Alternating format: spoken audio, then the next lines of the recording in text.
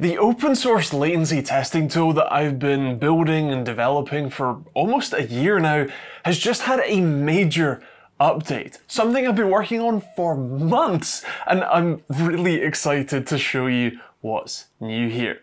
I have not one, not two, not even three, but four new features to show you.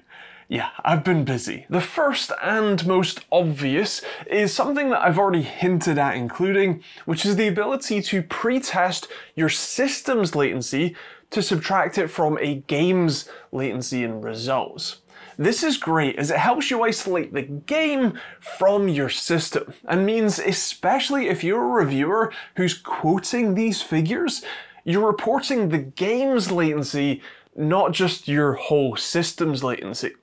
Of course, things like the game's settings will affect the latency too, and what sort of performance you're getting in the game, but it at least gives you the option.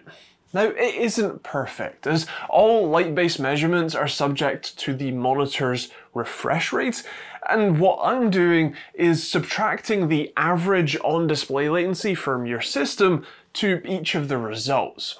There will still be some variability from the display's refresh rate window there, but it should give you a good idea of what's going on in the game. Let me show you how that new setting works. On the desktop app, you'll find two new buttons for this. The pretest toggle in the test settings area and the run pretest button up top. If you want the pretest data to be included in your game testing, you will need to hit the run pretest button first before opening any other games. You can then strap the sensor to the display and once the DirectX window opens you'll need to wait for the FPS counter at the top left to be reading around about 1000 FPS and then hit the button on the sensor.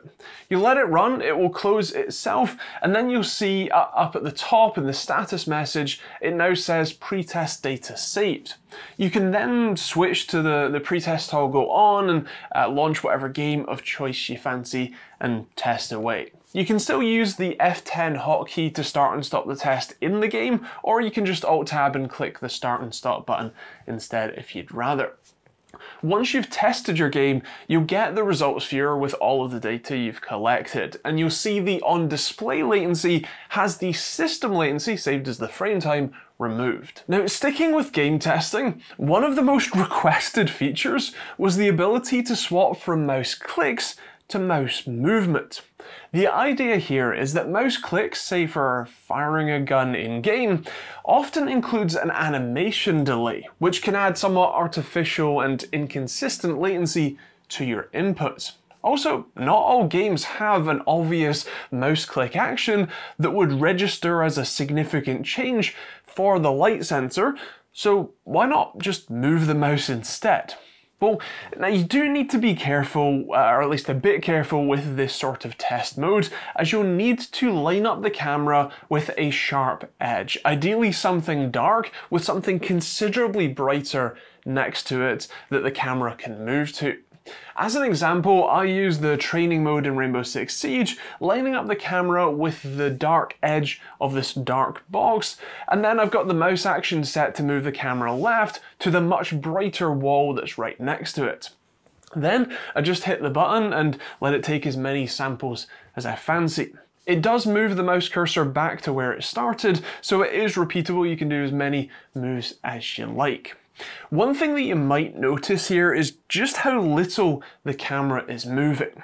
As much as I would like this to be, you know, a controllable option and as much as you like, this is the maximum that the board can do, at least right now. If you find you need more of a difference, more movements, you want to head to your game settings and bump up the mouse sensitivity until you are happy with the amount of motion you're getting. You'll find the whole mouse click or mouse movement uh, setting in the test settings area, and you have three options there.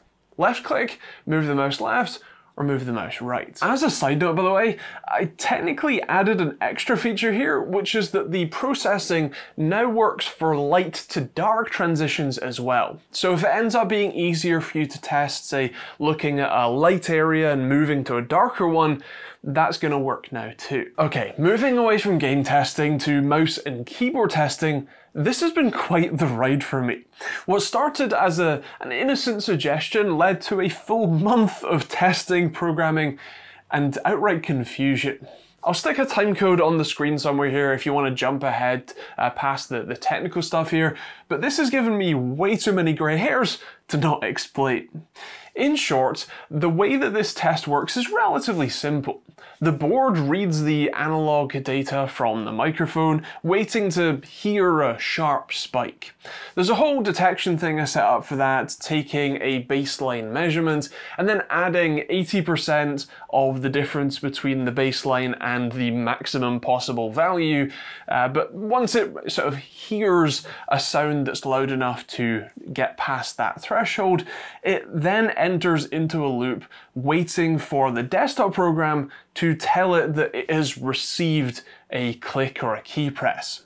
The desktop app has a low-level mouse or keyboard hook running that as soon as Windows receives the key down or mouse click down events, it fires back to the board to say that it's received that click. Now, that description includes some of the changes that I've made here, namely the low-level hooks. Previously, I was using the WinForms mouse down and key down events, which turned out to be a little unreliable, especially the mouse down one. I ran tests where the board itself did the clicking and then waited for the response, and I was getting results just all over the place. Like, six millisecond swings kinda mad. Here's the graph for that data. It's, it's not pretty. So swapping to the low level hooks solved that problem.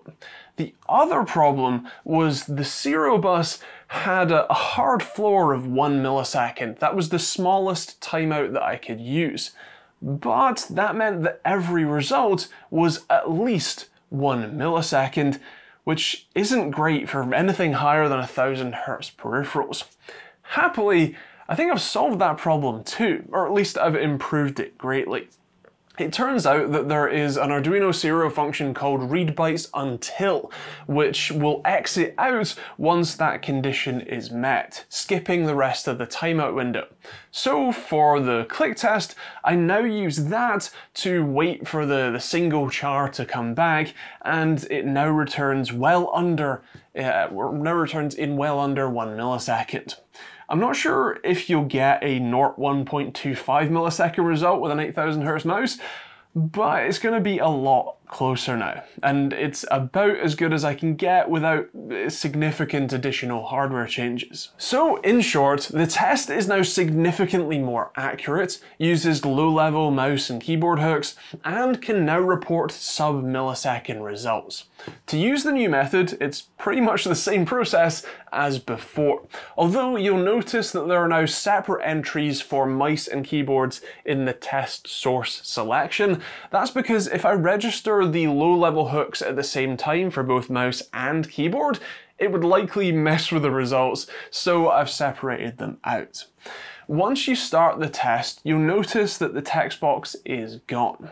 That's because the low-level hooks don't actually need you to you know, save what you're typing in any way. It just registers that you've pressed the key or the key down event and then fires off its action technically you don't even need the desktop app as the focused app, the, the you know primary app that's you're selected, but it is probably best if you just leave it as, as is. When you get the results, you'll notice they now have decimal places, which uh, is kind of a, a fun thing to add. And if you have a fast enough mouse, you should see sub-millisecond results. And the final feature is part of that same peripherals test. If you want the ultimate accuracy, you can now solder the two pin uh, fly leads directly to your mouse or keyboard's switch and use this two pin input to trigger the test. That replaces the need for the microphone as the trigger, and because it takes the signal from the switch itself rather than listening for the sound of clicking, it should be more accurate. If I'm honest, I don't expect many people to do this, but there is now the option if you want it. I think that is about it for now. I expect you'll have plenty of questions and suggestions, so please do jump on our Discord or leave them in a GitHub issue that will be linked in the description. I'll do my best to get back to you there.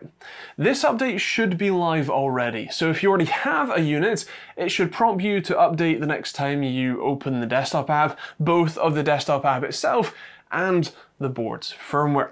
If you don't have an OSRTT or an OSLTT unit yet, head to osrtt.com slash OSLTT and pick one up. I still have a handful of units left from the second batch, and I'll be building another wave fairly soon too. Of course, if you want to support this kind of literally open source development, but you don't necessarily want or need one of these tools, you can just watch these videos, subscribe and just stay up to date on them, or you can support directly through YouTube, Patreon, pick up a hoodie or t-shirt like this one, or a load of other designs I made myself, or there's also a load of other affiliate links in the description that don't cost you anything extra to use, but do help me out when you use them. Otherwise, that's kind of it. If you haven't been following this open source latency testing tool project and you want to learn a bit more, I'll leave the full playlist on the end cards if you're interested. And uh, yeah, that's kind of it really. Uh, if you have any questions or suggestions, like I said, uh, Discord or GitHub is probably the best places to reach me, uh, but feel free to leave them in the comments as well if you fancy. And otherwise, yeah, thanks for watching, hope you enjoyed it, we'll see you all in the next video.